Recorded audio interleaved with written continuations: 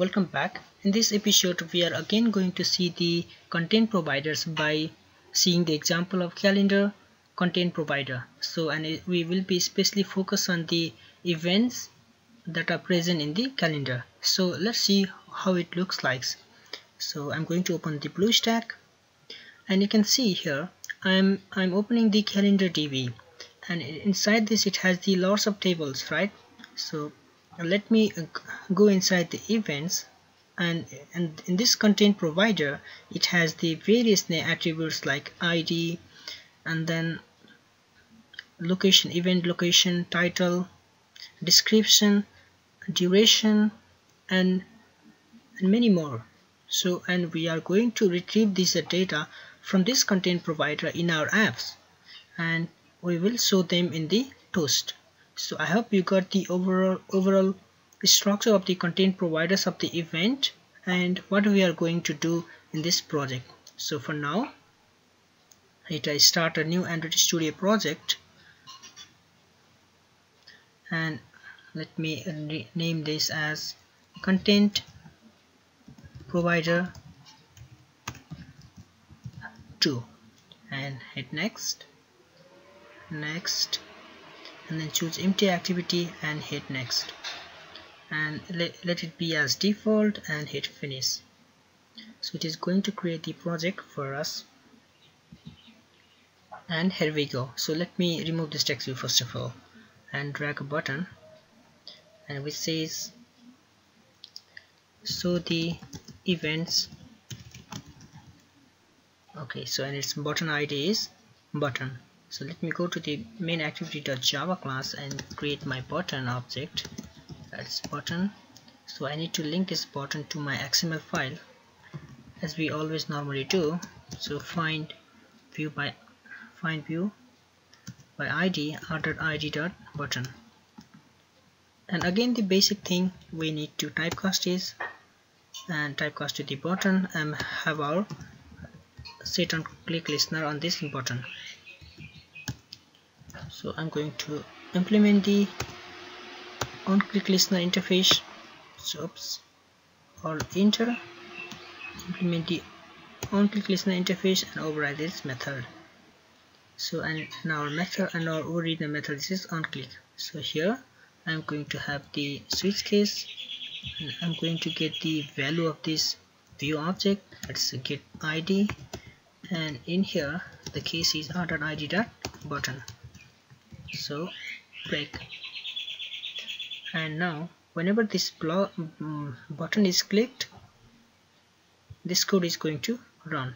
And inside here we are going to write our logic here. So for this create a cursor object.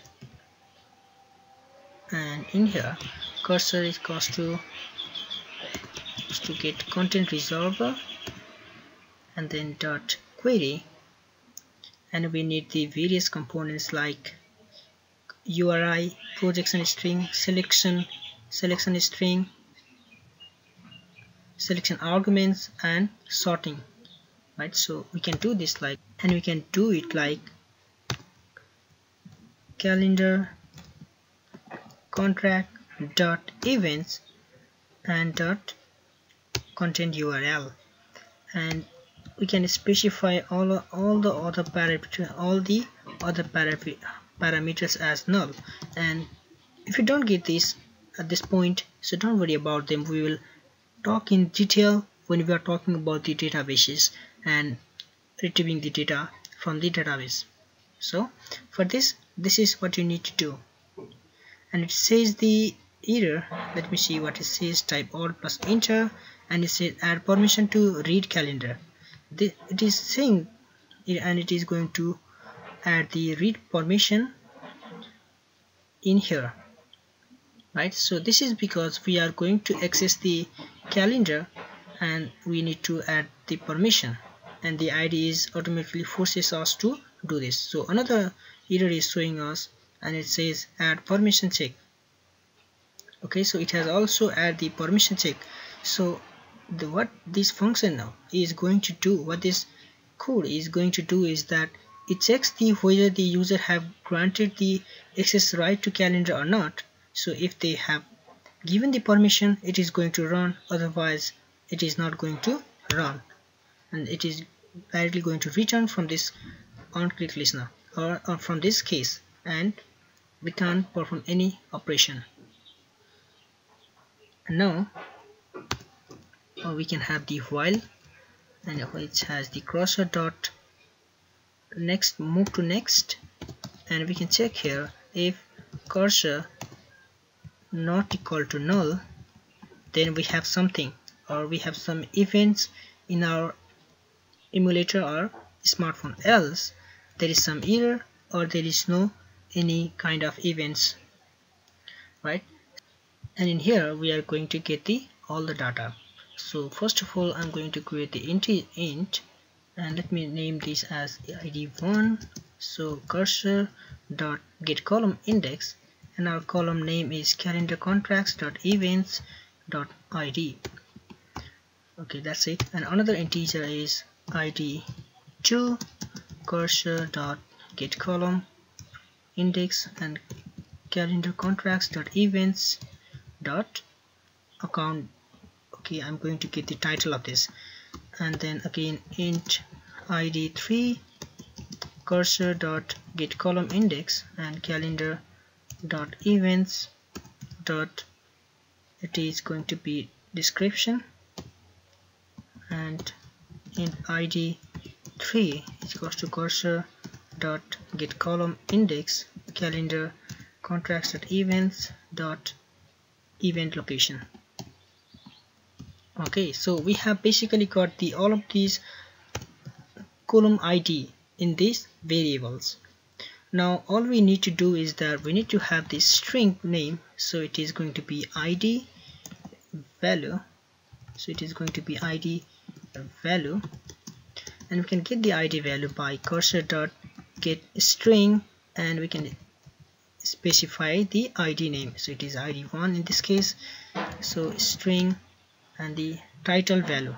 So title value title value equals to cursor dot get string and this its id is id2 id underscore 2 and we want to get the value of this description and we can do this by string description value cursor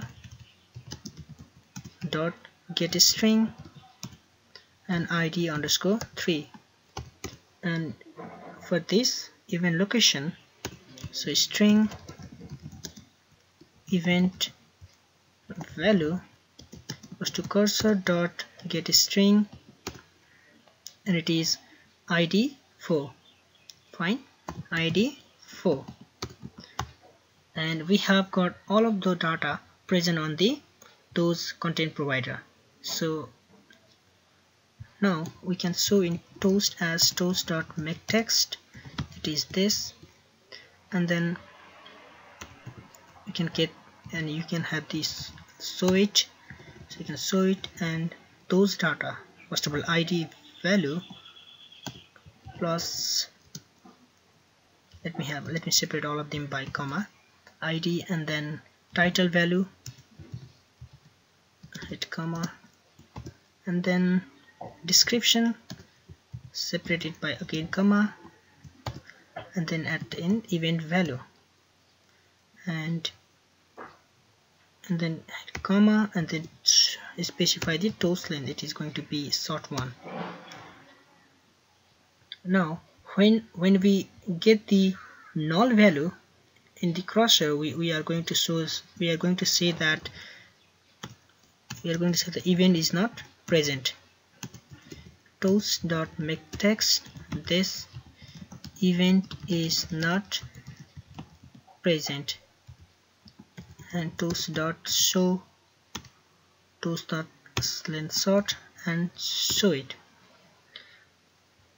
And yes we are we are we are done here.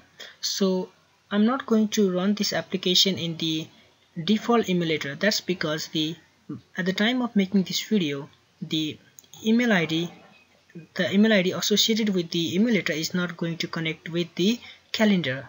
And this looks some box or something. So I'm going to directly generate the APK file and going to install this application in my BlueStack. And I will show you then and here is our APK so double click it to install. So in the BlueStack is going to install this.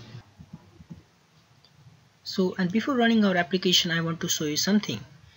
In here in the event content provider we have the we have already two events. They are first event and second event and their respective IDs are uh, 3 and 4 and their location event location are Android zone and Android desire and we are only getting the four attributes ID title event location and description. So once you know how to do this four and you can get all of these remaining attributes if you want. Okay so let's run our application now. Before this let's do some experiment. So I want to go to the calendar and make a empty empty event. So it says event created now we have the free event in our content provider right? So let us run our content provider. And now it should say and, and now it should show the three events. First second and third. So as of now you have the basic understanding of content providers how we can retrieve the data from content providers and how we can change the value of content provider. And we will also go go in detail about go go in detail detail about the content providers when we are talking talking about the databases series in the upcoming videos where we will be where we will be creating our custom content provider. So and I will see you in the next part with something interesting topic